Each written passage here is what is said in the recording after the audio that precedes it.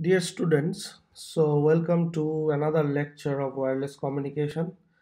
So in the last video lecture, we were talking about uh, the different impairments uh, in a wireless channel. So we talked about the thermal noise and about signal to noise ratio, uh, etc. So in this lecture, we will start with the other impairments that you can have for a wireless communication system. So, so we can have, uh, other than the thermal noise, we can have uh, atmospheric impairments uh, or atmospheric absorptions. So this is because of the water vapor and the moisture and other particles that are in the atmosphere that contribute to attenuation. Then uh, the most important impairment in any wireless channel is the multipath. And this is because you have different obstacles that are reflecting the signals and you get multiple copies of the same signal at the receiver with varying delays and also with varying amplitudes and then there is uh, refraction uh, which which is uh, the bending of the radio waves as they propagate through the atmosphere. So this also adds to the impairments in a wireless channel. So let's uh, let's look into the effect of multipath closely. So basically this is caused by reflection diffraction and scattering in the atmosphere and because of these uh, phenomena multiple copies of a signal may arrive at different phases okay? So if the phases add destructively the signal level relative to noise declines making the detection more difficult okay? So so this is a this is a this is a serious problem for any wireless channel. And because the signals uh, arrive at the receiver after getting reflected refracted uh, scattered uh, the the multiple paths that the signal follow okay as the name suggests multipath uh, because of their different path lengths the phase of the signal will be different okay? So and that uh, that is totally random in nature like how many copies of the signal arrive at the receiver and what are their path lengths. These things are totally random in nature. And at a given instant of time the phases of the different multiple copies of the signal uh, can add together in a constructive manner or may cancel each other out okay? So so that is the that is the problem okay? So in that case you can have a very low quality signal okay? So an example is let's say you have a sine wave okay? Like this okay? So this is this is a sine wave and then let's say a 180 degree um, a 180 degree phase shifted version of this wave could be like this okay? So here it is positive and here it is exactly negative of this. So when you add these two together these two signals totally cancel each other. And now depending on any other intermediate phases let's say like this. The total signal uh, can be um, can be low compared to let's say the original signal which is this one okay? So this is the problem uh, that multipath uh, phenomenon uh, have okay? So this phase of the signals they can add destructively. And then there are uh, intersymbol interferences. So because of this multipath uh, there could be intersymbol interference. So one or more delayed copies of a pulse may arrive at the same time as the primary pulse. Okay?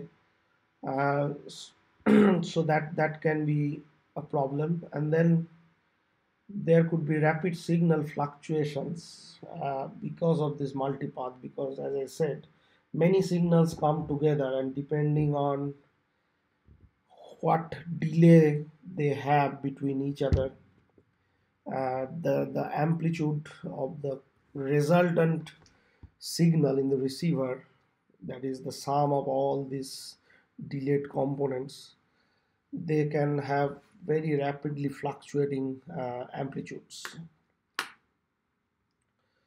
So this is the scenario. So you, you see that in case of uh, wireless communication you have a line of sight but then you have a reflected copy and a refracted copy reaching together at this receiving antenna okay?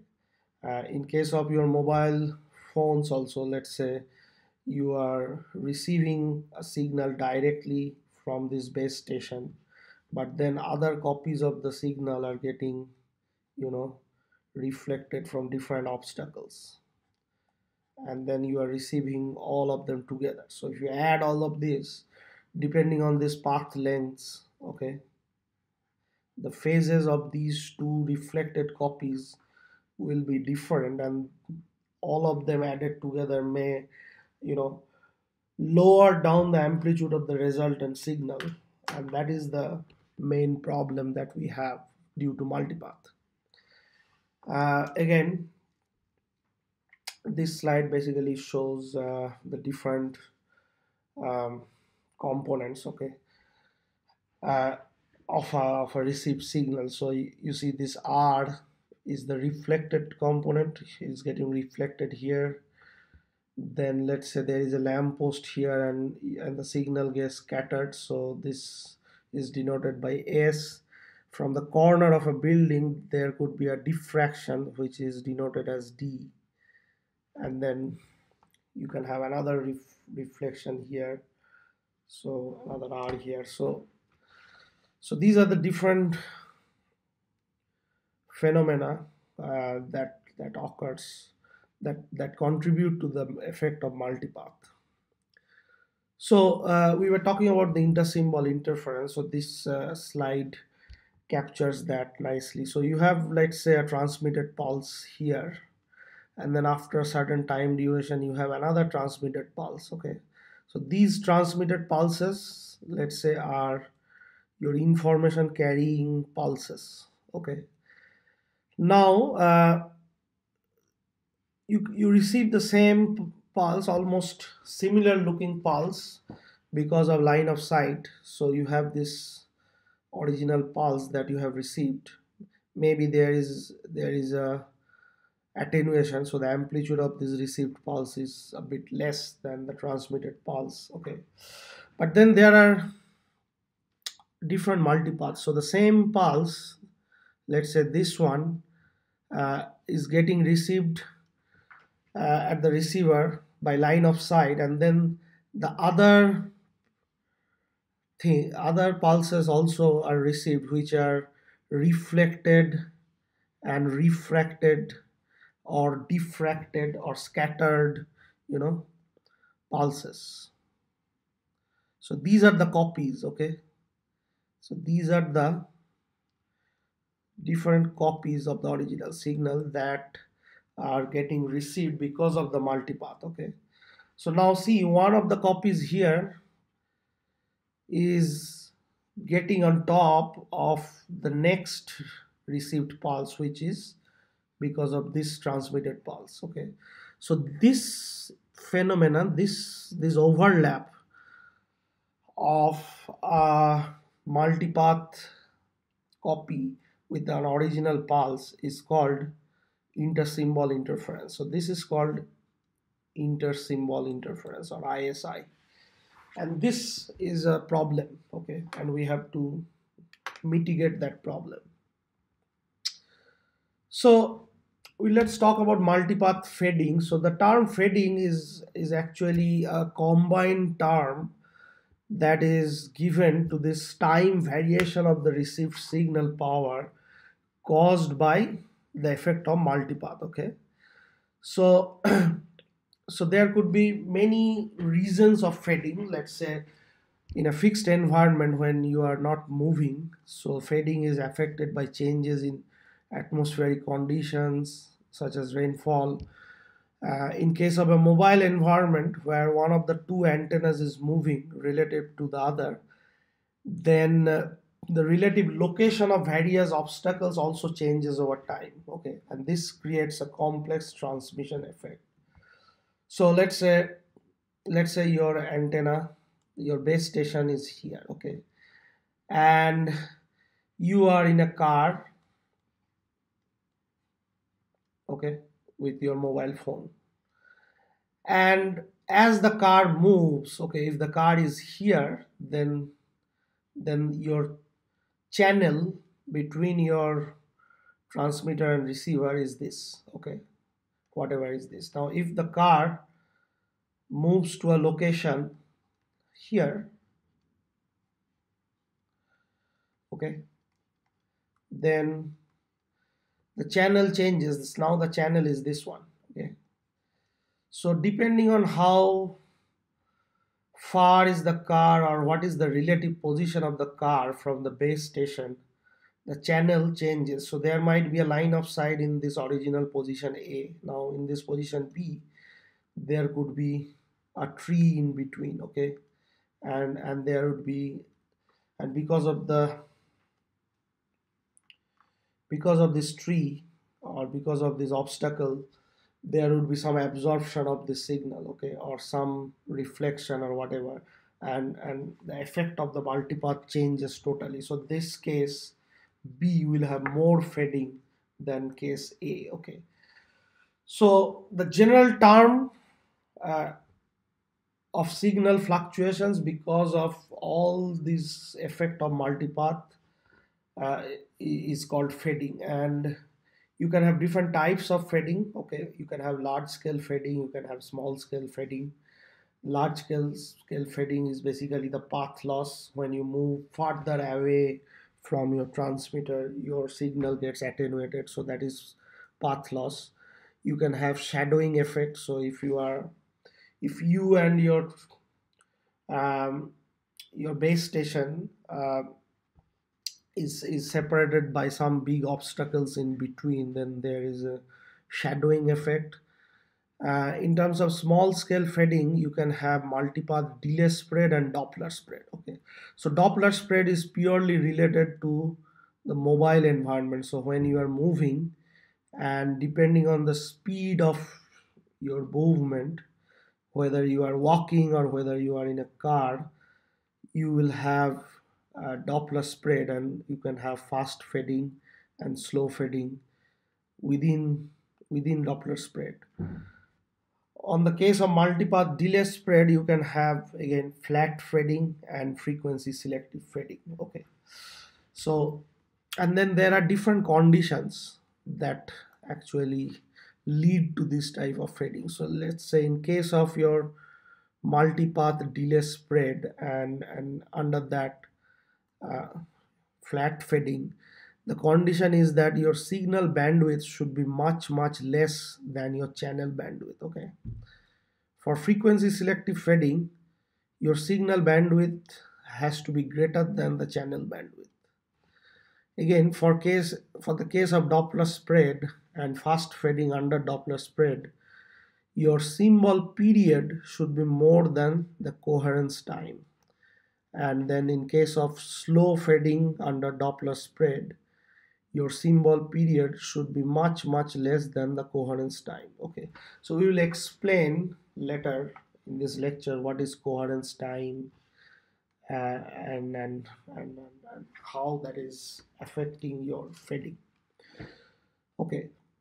So this is again uh, an example of you know uh, slow versus fast fading so this blue line shows um, gradually you know decreasing amplitude of, of the signal with respect to position. So this is kind of slow fading.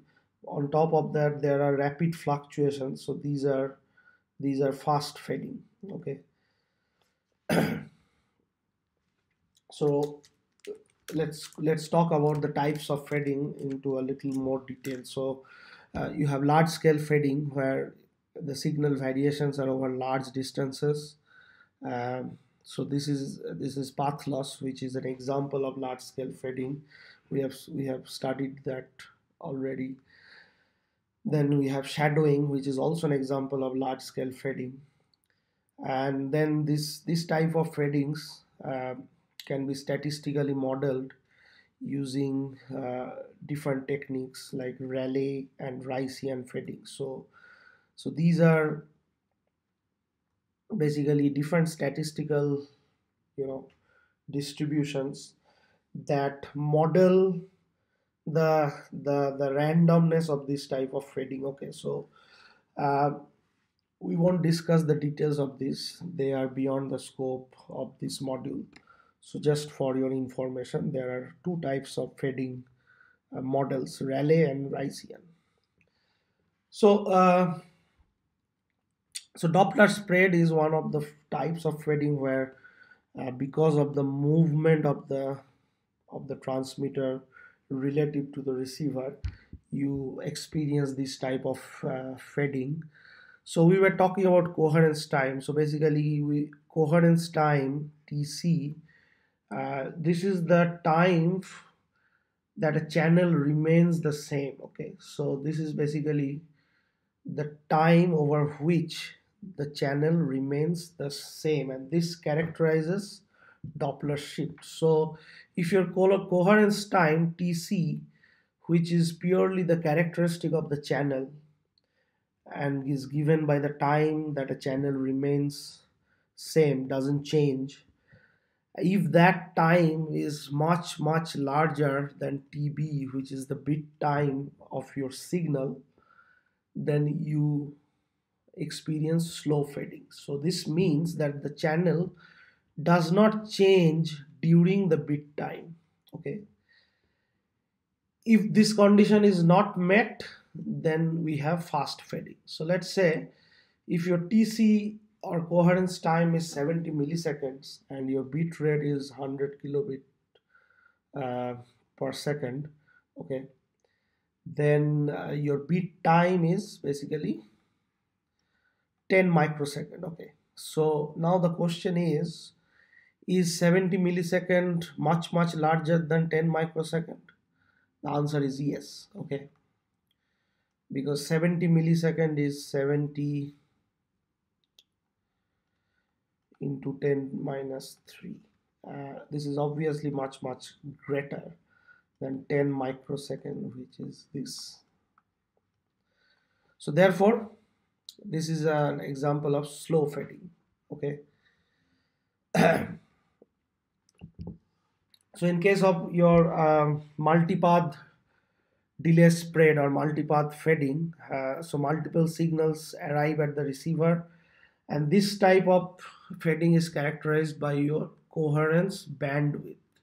So notice in case of Doppler spread, you were uh, you were comparing uh, the signal and the channel in time domain. So you had defined TC or coherence time. In case of multipath fading, you are you are characterizing your channel and the signal in the frequency domain. So you are working with the bandwidth. So this is the bandwidth over which the channel response remains relatively constant. So this is the coherence bandwidth. Now, uh, if your signal bandwidth BS is is is um, much much less than BC, then you have flat fading. This means that the signal bandwidth fits well within the channel bandwidth. If this condition is not met, then we have frequency selective fading. So let's say my coherence bandwidth is 150 kilohertz and my bit rate is 100 kilobit per second. So if I assume that the signal bandwidth is almost of the order of the bit rate, then we will roughly have a 100 kilohertz bandwidth of the signal okay so so if you have a 100 kilohertz bandwidth then is bc which is 150 kilohertz much much greater than bs uh, so 150 kilohertz is it much much greater than 100 kilohertz? Probably not. Because to use this much much greater sign it has to be uh, a factor of 10 higher okay? So 150 kilohertz is not more than let's say 10 times of 100 kilohertz. These two are almost comparable values. So therefore this condition is not met and therefore we have frequency selective fading so this slide kind of uh, visually shows you what's the scenario. So let's say you have a signal spectrum like this okay? And then you have a flat fading channel. So your your signal spectrum is within minus b and plus b okay? So you see the channel bandwidth which is which is much much larger than your signal bandwidth and also the channel remains flat. So the coherence bandwidth of the channel is BC is the bandwidth over which the channel is flat right? So this is your this is your coherence bandwidth this bandwidth is coherence bandwidth and over this the channel is relatively flat okay? So this BC if it is much much greater than this channel bandwidth uh, sorry the signal bandwidth then you have flat fading and that is what you are having here. But let's say if your coherence bandwidth let's say in this example this is a frequency selective channel and this channel is fluctuating a lot within the signal bandwidth. So basically in this case, your BC is less than BS, okay? And therefore, you have a frequency selective uh, output from the channel and you have frequency selective fading, okay?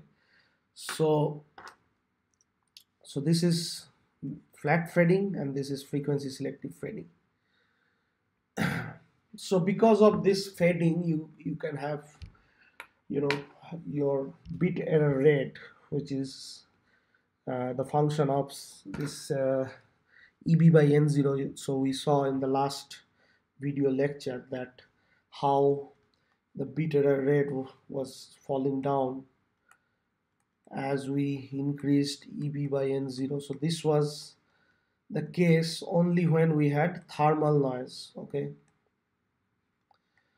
so now if you just factor in the effect of fading, then you can have different types of curves. So let's say this one is the curve for, for flat fading and slow fading Rayleigh limit. So again, you saw a few slides back that you model the fading statistics using Rayleigh and Ricean distribution. So if you have Rayleigh fading, then you have some type of EB by N0 versus BER plot. If you have Ricean with k equal to 4, then you have a better performance, okay? If you recall uh, the curves that was uh, shown in the last class, you see this, the more steep the curves are, better performance is indicated. So here you, if you have Ricean fading with uh, k equal to 4 so k is the parameter of the Ricean distribution you have a better performance. If you increase k you have again further improvement in your performance. And then this is the additive white Gaussian noise model. So this is the case same as this one that we saw in the last class where we were just plotting BER in the presence of thermal noise or additive white Gaussian noise. Okay, now if you have fading, then the performance obviously degrades. So you have a worse curve and then that fading depending on different types of fading the curves get even worse okay as you move this direction. And this is the worst possible curve. So this is for frequency selective fading or fast fading. So see frequency selective fading is not very good. You you are getting a curve which is which is which is having a very high probability of error okay? And it's almost flat with respect to your signal to noise ratio. So this is this is bad.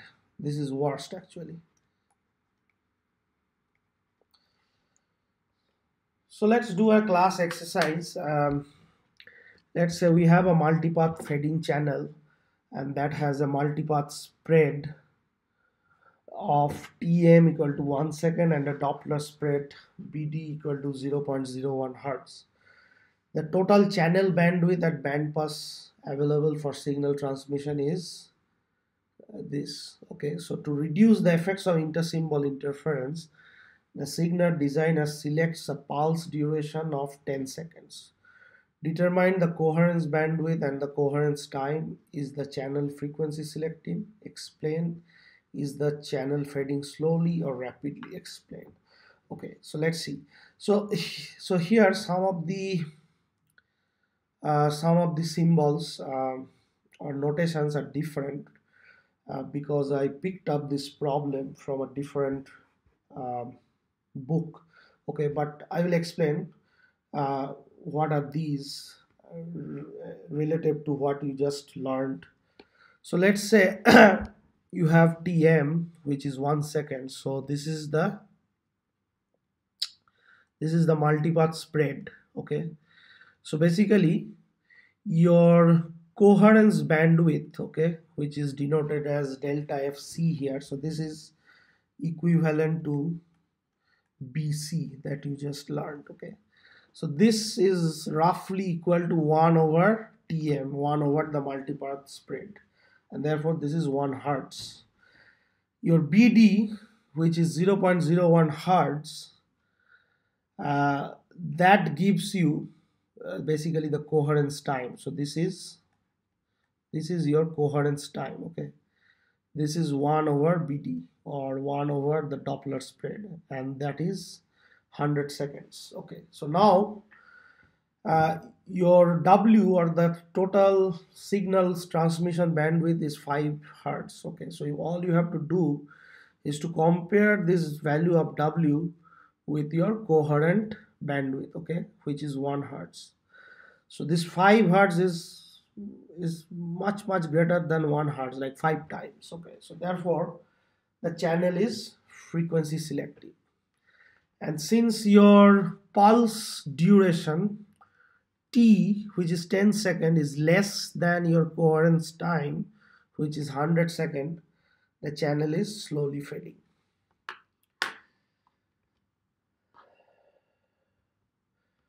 Let's do another exercise.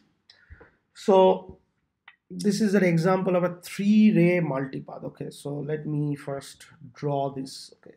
So let's say you have uh, you have your antenna transmitter antenna here the base station okay? And let's say your mobile phone is here okay?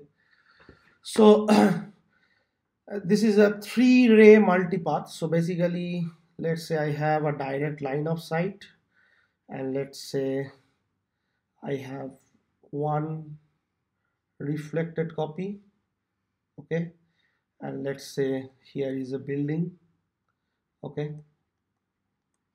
And I have a reflection from this building. So th there are three rays okay? One two and three that are reaching your receiver. So this is an example of a three-ray multipath. So consider a 980 megahertz signal.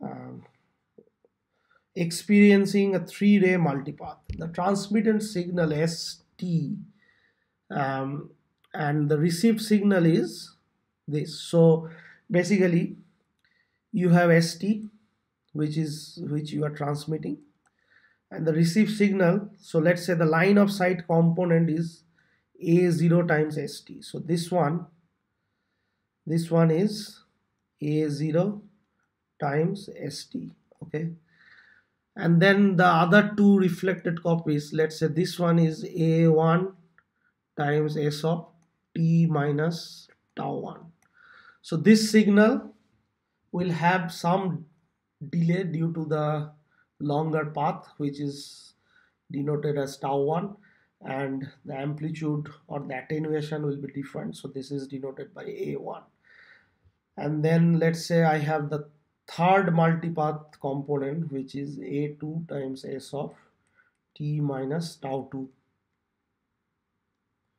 so again this signal because of the different path length is experiencing a delay of tau 2 and and, uh, and an attenuation that is denoted by this amplitude a2 so let's say we have given all these values. So A0 is 0.4, A1 is 1, A2 is 0.7, and then tau 1 is these many microsecond and tau 2 is these many microsecond.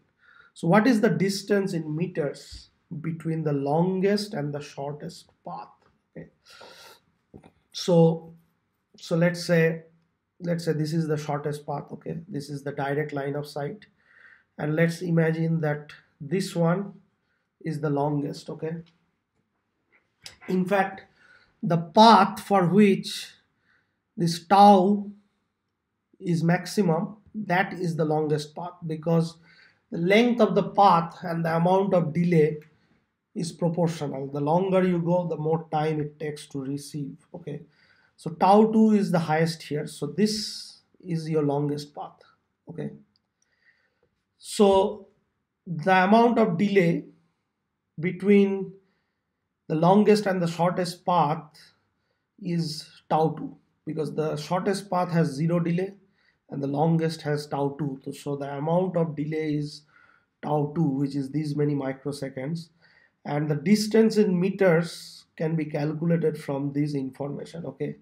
So so this is how it can be calculated. So the distance is simply c which is the speed of light times tau 2 so you have these many meters. Now, if the transmitted signal is a cosine, what are the relative phase angles between the three multipath components? Okay, so let's imagine that the transmitted signal ST is cosine of 2 pi f. Your f is 980 megahertz, so 980 megahertz means 980 into 10 to the power 6 so 2 pi f this is your f and then t. Okay so this is your transmitted signal. Okay. So what are the relative phase angles between the three multipath components? So just compute these values. A0 times st uh, your st is this. Is a1 times s of t minus tau and a2 times s of t minus tau 2 so all these values are given. So you can just calculate these things okay? So let me so basically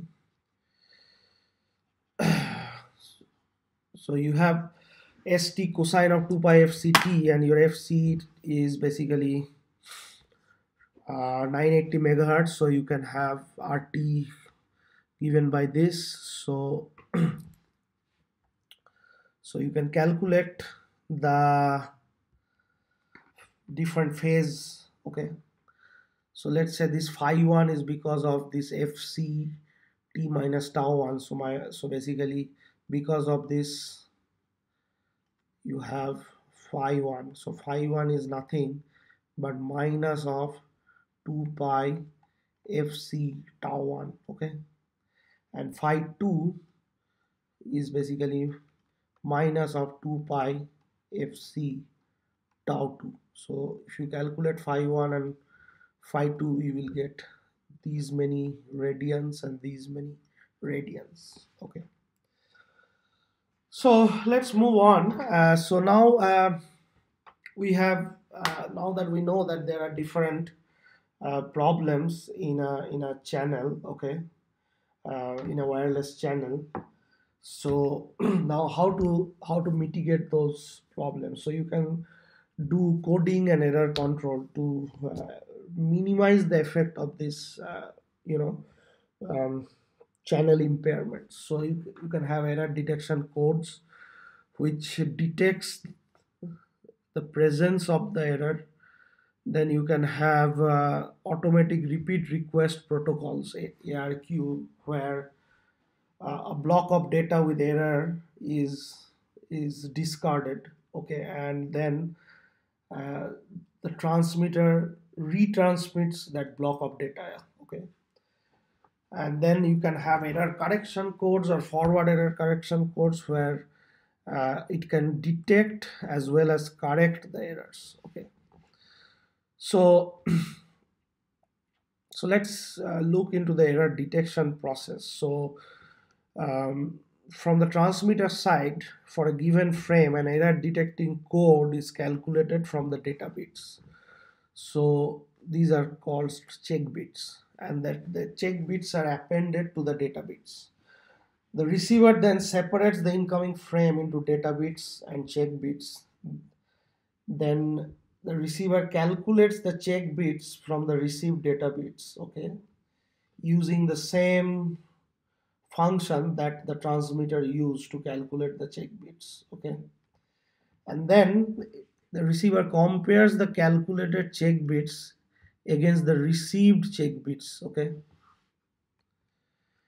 And then uh, if two of them doesn't match then you can say that there is an error okay? So this is what happens. So you have data you have k bits of data and then you calculate e which is a function of this data bits. And that e gives your check bits okay? So you have n minus k check bits and k data bits okay? So both of them are appended together to get n bits of a frame. And this is transmitted. When you receive it let's say this is your received data okay so you calculate based on the received data using the same function as in the transmitter the received check bits okay? And then you compare these received check bits or sorry you compare this is the received check bits you compare this calculated check bits in the receiver with the received check bits and if they are the same then you don't have an error. If they are not then you have an error so one example of uh, this check bit is a parity check. So parity check bit is appended to a block of data. So you can follow even parity where the added bit ensures that there are even number of ones in the data or you can have odd parity where the added bit ensures that there is an odd number of ones. So for example, if you have a 7 bit character, so if you if you do even parity, then your parity bit this one is 0 because you already have even number of ones here. If you want to follow odd parity then in that case you have to uh, sorry you have a 1 at the end as parity bit because the total number of ones uh, needs to be odd. So there were already four ones and now you add another to make it odd so this way you can generate the, the, the frames with the last bit being the parity bit, uh, either maintaining an even parity or an odd parity. Now uh, you can have uh, other types of uh, parity check codes. So you can have cyclic redundancy check or CRC. So in this case, you have a k bit block and the transmitter generates an n minus k bit frame check sequence. And this results in n bits uh, which is exactly divisible by a predetermined number. And what the receiver does is divides the incoming frame by that predetermined number. And if there is no remainder then it assumes that there is no error. If there is a remainder this means that some of the transmitted bits has been flipped and there is an error and therefore uh, the remainder will mean there is an error no remainder means no error so so in case of wireless transmission, uh, in, in, many scenarios, uh, error detection requires retransmission. Okay. So so sometimes uh, detection is inadequate for inadequate for wireless application because you know uh, you if you have just error detection then you detect the error and then you you ask the transmitter to do retransmission. And this can result in a large number of retransmission if your if your wireless link has a very high error rate okay? So there will be large number of retransmission. If you have very high um, like fading very fast uh, uh, changing channel conditions then you you will have large number of retransmission and this can create long propagation delay okay? So this is not enough for or not adequate for wireless transmission systems. So therefore you better get a system where you can correct the error also okay? So you you need block error correction codes okay? So in this case the transmitter they have a forward error correction encoder which maps each k bit block into an n bit block code word okay?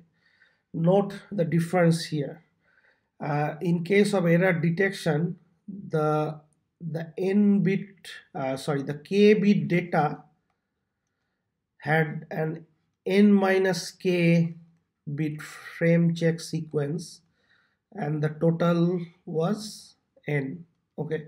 Here the n bit uh, sorry the k bit data is mapped through a FEC encoder and you get an n bit block of uh, frame okay? So there is a there is a difference between these two approaches okay? So this uh,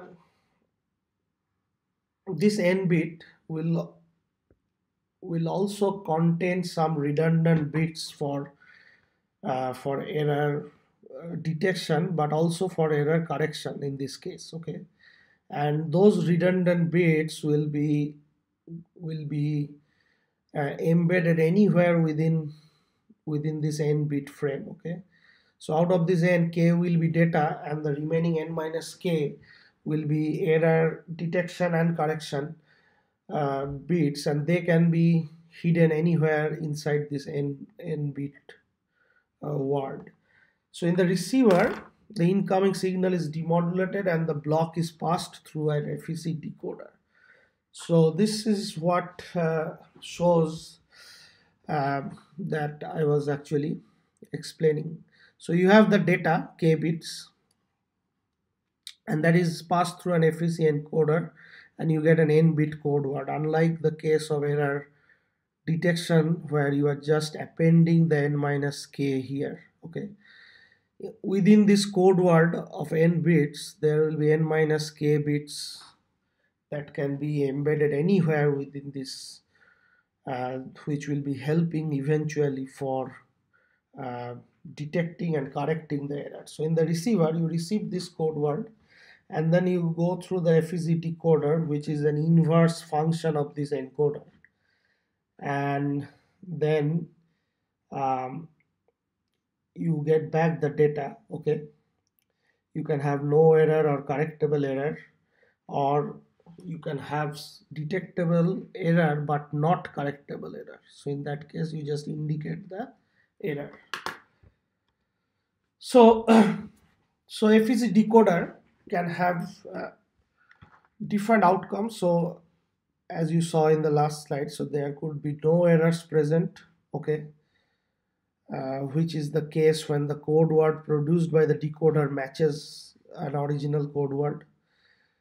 Um, then there could be error which are detected and then they are corrected by the receiver okay?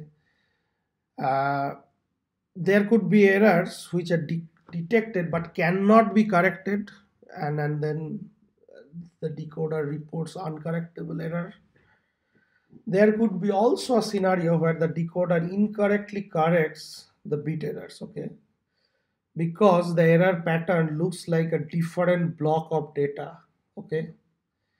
So so the decoder i mean this can happen also. Uh, and then finally the last outcome is that the decoder detects no bit errors though errors are present okay? This is also possible So there are a few principles of block codes. Uh, so let's see what are those. Uh, the first uh, thing is the Hamming distance. So Hamming distance is uh, is defined as the number of different bits. Okay, so for a two n bit binary sequences you compare. So for example, if you have v1, which is this, and v2, which is this so what are the different bits okay so this let's check from the LSB to MSB so this one is same as this. This one is different.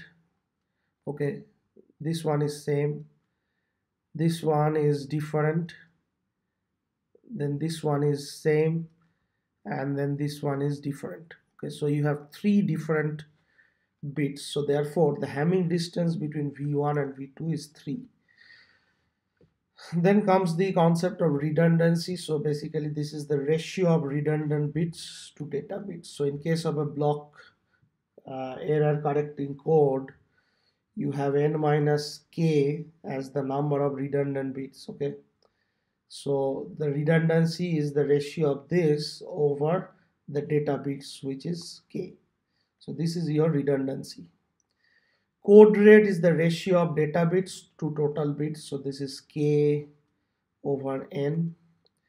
And the coding gain is the reduction in the required EB by N0 to achieve a specified BER of an error correcting coded system. So this is what is showing uh, the concept of coding gain. So let's say this is the BER curve without coding and this is the BER curve with rate half coding okay?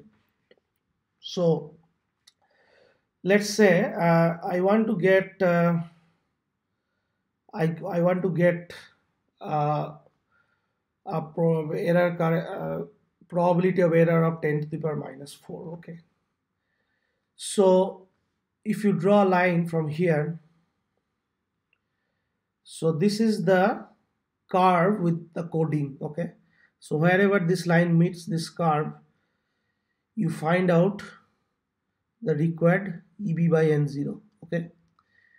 And then if you extend this line to, to the curve where it is without coding, you get another value of EB by N0. So this difference is your coding gain, okay? Because to obtain the same probability of error of 10 minus 4 with coding you are you can have a EB by N0 of let's say 10.5 dB okay? This value let's say between 10 and 11 is 10.5 and to obtain the same probability of error of 10 minus 4 without coding you need to have almost 13 dB so there is a two and a half dB okay. Gain that you are obtaining because of coding. So this is called coding gain so let's quickly look into the decoding process. So so let's imagine that we have these uh, four data blocks four combinations 0 0 0 1 1 0 and 1 1 and for each of them we have a corresponding code word. Okay. So for 0 0 this is the code word for 0 1 this is the code word for 1 0 this and 1 1 this. Okay. So now imagine that you have received this this code word. Okay. Uh, so this is not a valid code word. Okay. If you if you match this received code word with one of these then it doesn't matches any of these. So therefore there is an error. Okay. So the error is detected so now you want to correct this error okay? So let's see what are the Hamming distances from this received code word to the original code words okay? So this is one bit away from this okay? Uh, two bits away from from this three bits away from this and four bits away from this. So basically the most likely scenario is that this particular code word was sent and and uh, because the least Hamming distance is corresponding to this uh, of the received code word okay? So the most likely code word is this and you assume that the corresponding data which is 00 that was sent. But others could have been sent as well albeit much less likely okay so this could have been sent as well and then and there could be um, uh, and the and the code word for this is let's say this. So 0 let's say 0 0 1 1 1 and then if you make two errors in these two positions then you could have received 0 0 1 0 0 as well okay? So but the but the chance of this is very less likely okay so now if you if, if if you receive a code word like this let's say 0 1 1 0 0 this is two bits away from uh, the first code word and two bits away from the next and no other codes are closer okay? So in this case it's very hard to decode like which one was transmitted either this or this. So in this case you only know bit errors are there but then you cannot correct the bit errors or you cannot decode so that scenario is also possible okay so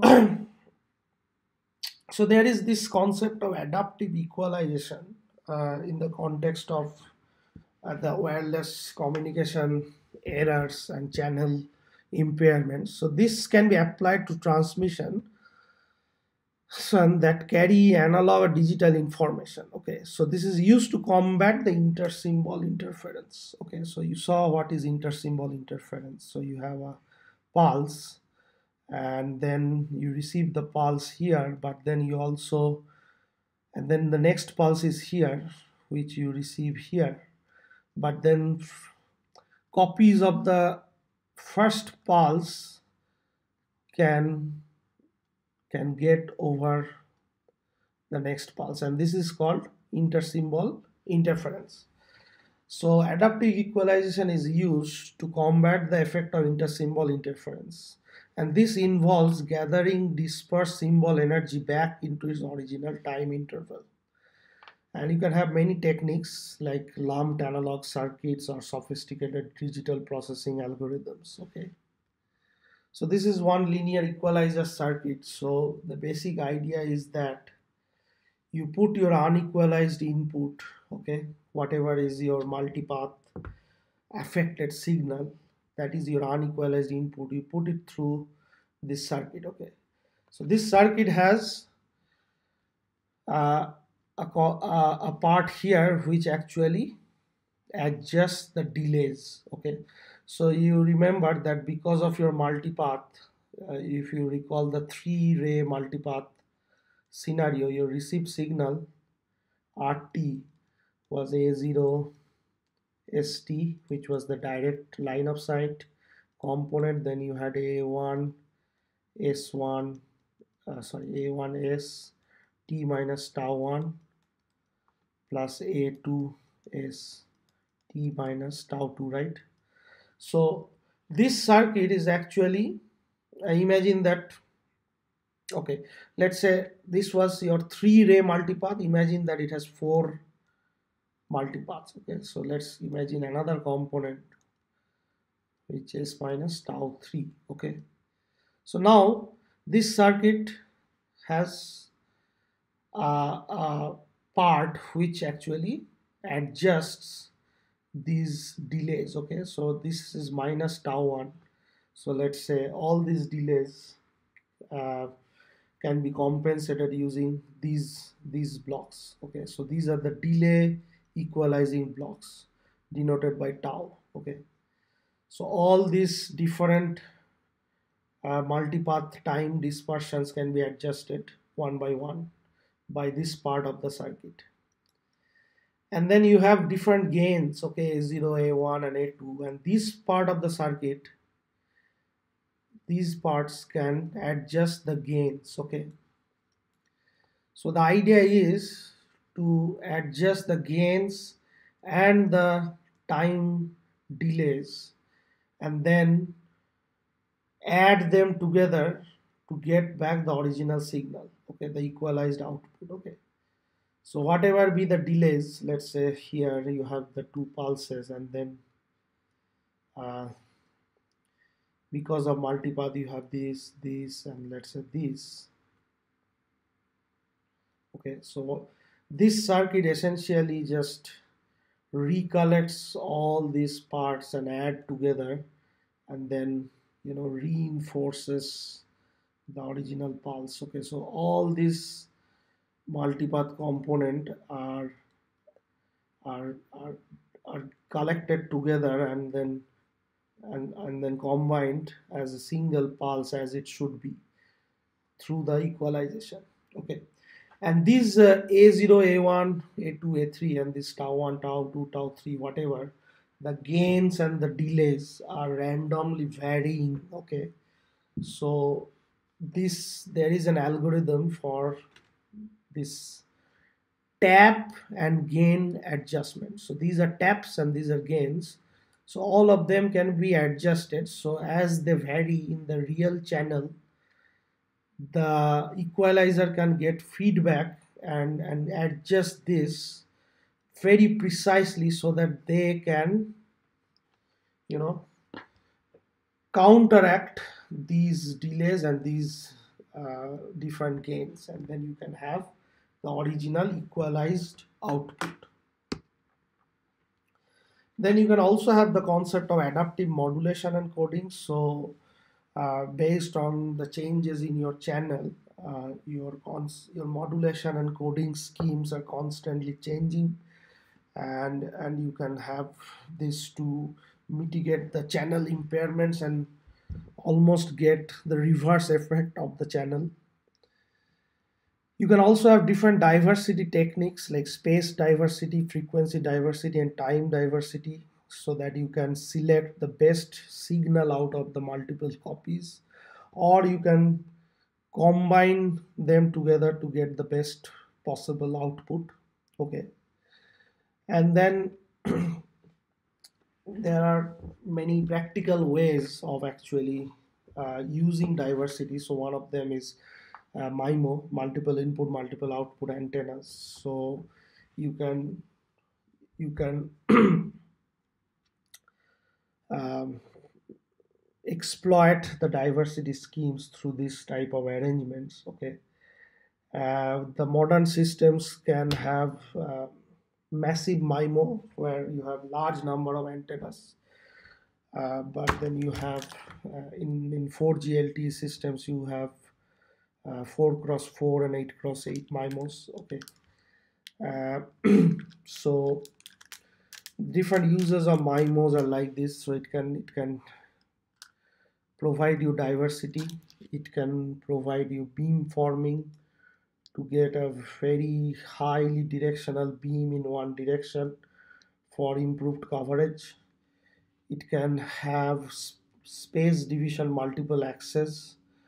Uh, uh, and, and, improve the capacity okay and it can also have uh, multi-layer transmission for higher data rates in a given bandwidth okay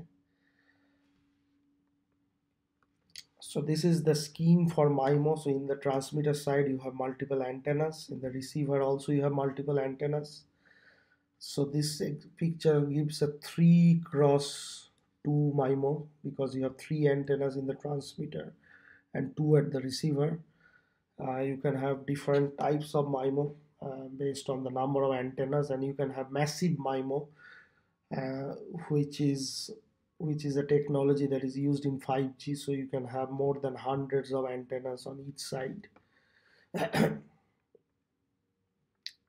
then also there are different channel correction mechanisms to mitigate the effects of the wireless channel For example, you can have OFDM and spread spectrum. So we will study these in details when we will study, let's say, 3G and 4G systems. Uh, so I'm just going through them quickly. Then you can have uh, bandwidth expansion techniques, so where a signal can, you know, um, you can be can be uh, transmitted over multiple carriers, like like that. That is called carrier aggregation. Uh, then you can have frequency reuse. Uh, you can have millimeter wave. So there are many techniques in the physical layer through which you can enhance the quality of wireless transmission. So I will stop here today and I will see you in the next video lecture.